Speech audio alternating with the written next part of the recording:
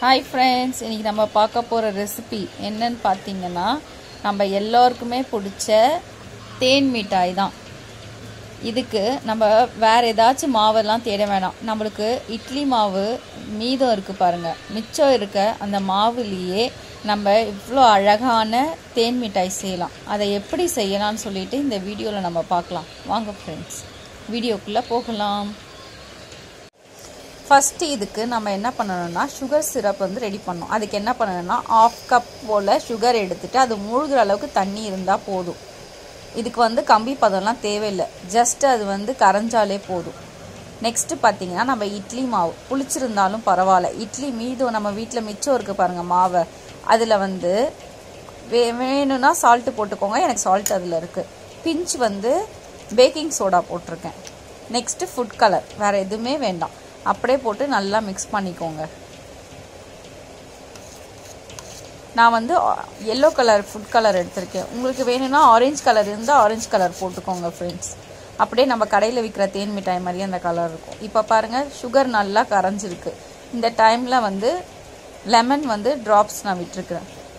இப்போ உங்களுக்கு வந்து சுகர் வந்து திருப்பி சுகராகவே இருக்கணும்னா அதில் வந்து நீங்கள் வந்து லெமன் விட வேண்டிய அவசியம் இல்லை. எனக்கு அது மாதிரி இருந்தால் பிடிக்காது. அதனால் நான் லெமன் ஃபியூ ட்ராப்ஸ் விட்டுருக்கேன். நெக்ஸ்ட்டு ஒரு பேனில் பார்த்தீங்கன்னா நான் ஆயிலை வந்து ஹீட் பண்ணியிருக்கேன்.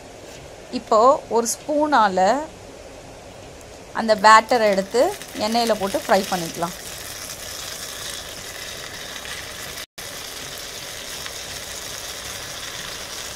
இந்த பாருங்கள் எவ்வளோ அழகாக சர்க்கிளாக வருது பாருங்கள் அந்த ரவுண்ட் ஷேப் நல்லா வருது பாருங்கள் கொஞ்சம் கொஞ்சமாக மாவு விடும்போது ஏதோ வேறு ஷேப்பில் இருக்கும் அதுக்கப்புறம் அழகாக அந்த ஷேப் மாறும்.